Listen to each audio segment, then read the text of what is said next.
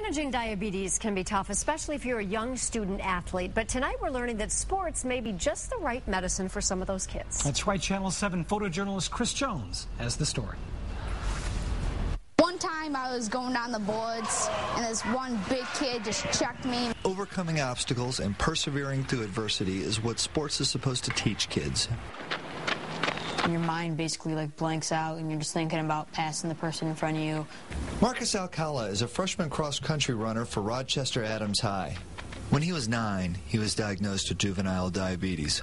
I usually don't think about it unless my blood sugar starts to feel low or high. If it was high, like my spit, I would like start getting like white, you know, and I would need, need like something to drink so it'd make like harder to run. When I was low, I just feel weak, so like I couldn't run faster. Mackenzie Stunkel plays tennis for Brighton High School.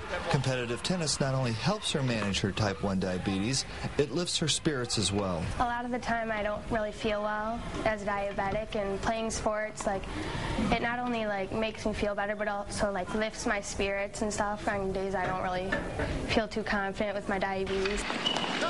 11 year old Shane Cunningham has been playing hockey as long as he has had diabetes. I have this little bag in my hockey bag.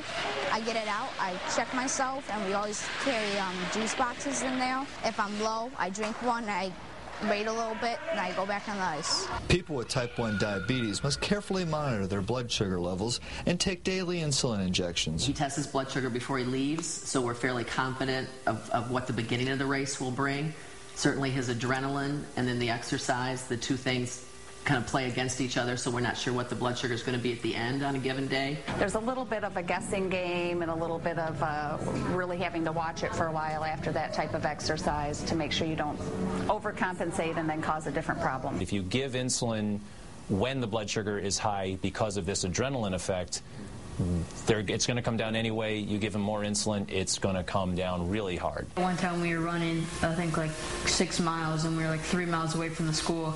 My blood sugar was low, and I already ate my snack that I had, so I didn't really know what to do. So Jake helped me like find another group of guys, and we saw someone in a car we knew, so she drove me back to the school. I just really want people to know that if you are a diabetic, that it shouldn't hold you back, and you shouldn't let it get in the way of your dreams or your hopes for your future right now.